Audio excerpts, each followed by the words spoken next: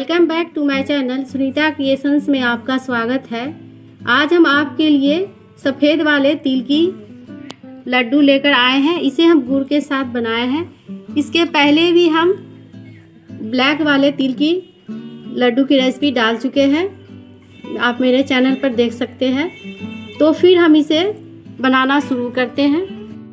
तिल का लड्डू बनाने के लिए सबसे पहले यहाँ हम सफ़ेद वाला तिल लिए हैं। इसे अच्छी तरीके से साफ़ कर लेना है। यह लगभग 250 ग्राम है। तो हम इसे सबसे पहले रोस्ट कर लेते हैं। कढ़ाई लेंगे। कढ़ाई में हम थोड़ा थोड़ा डालेंगे तिल को और इसे रोस्ट कर लेते हैं। इस तरीके से रोस्ट कर लेना है। अब हम इसे देखिए, इस तरीके से रोस्ट कर लिए हैं। इसी तरीके से सारे तिल को हम रोस्ट कर लेते हैं।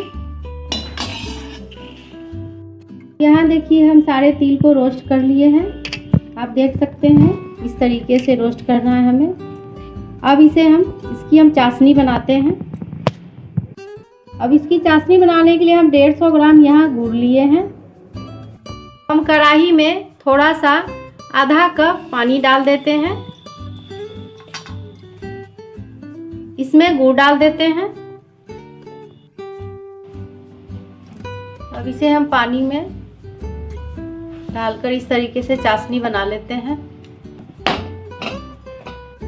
यहाँ हमारा गुड़ का चाशनी बनकर तैयार हो गया है। एक बार हम इसे पानी में डालकर चेक कर लेते हैं। अब देखिए यहाँ पानी में इसे डालते हैं। तो यह देखिए, इस तरीके का हो गया अब। आप देख सकते हैं। इस तरीके का हो गया तो हमारा चाशनी बनकर तैयार हो गया है। अब हम इसमें भुंजा हुआ तिल को डाल देते हैं। फ्लेम को हम बंद कर देंगे।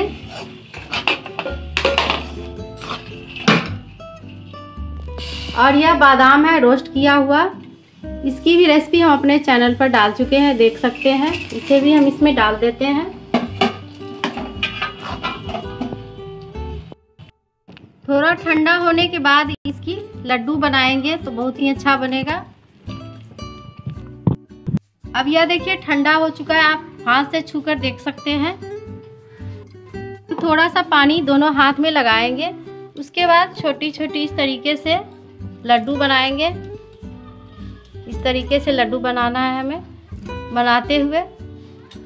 इसे हम यहाँ रखेंगे, इस तरीके से हमें बना लेना है।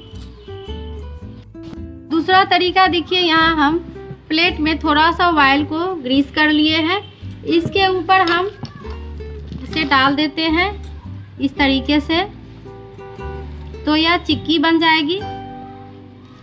आप इसका लड्डू भी बना सकते हैं, चिक्की भी बना सकते हैं, दोनों चीज़ बना सकते हैं।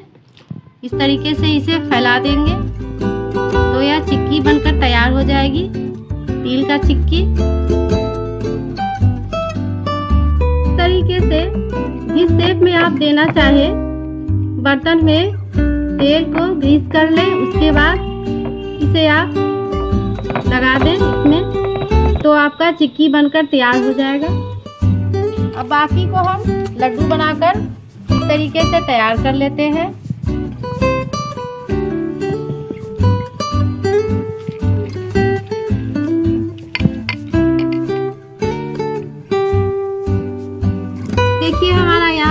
लड्डू और यह चिक्की बनकर तैयार है।